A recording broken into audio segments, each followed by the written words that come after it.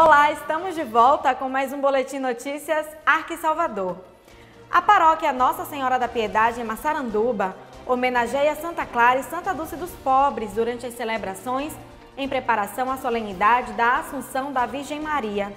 De 11 a 14 de agosto, os fiéis se encontram na matriz às 6 horas da tarde, onde participam todos os dias dos momentos de oração seguidos de missas. Já no dia solene, 15 de agosto, a celebração eucarística terá início às 11 horas da manhã.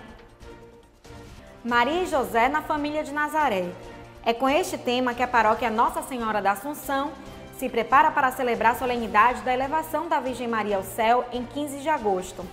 O novenário, que acontece de 6 a 14, tem início sempre às 7 horas da noite na matriz, localizada na Rua das Rosas, número 467, no Itaigara. A programação completa está disponível em nosso site. Com o tema Na Mesa com São Domingos, somos convidados a viver na unidade da fé.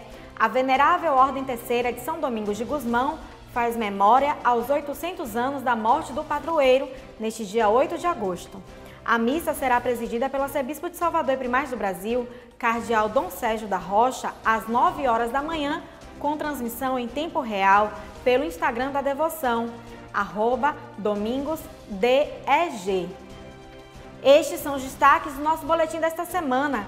Para saber mais informações, acesse www.arquidiocesesalvador.org.br. Na semana que vem estaremos de volta. Fique com Deus e até lá!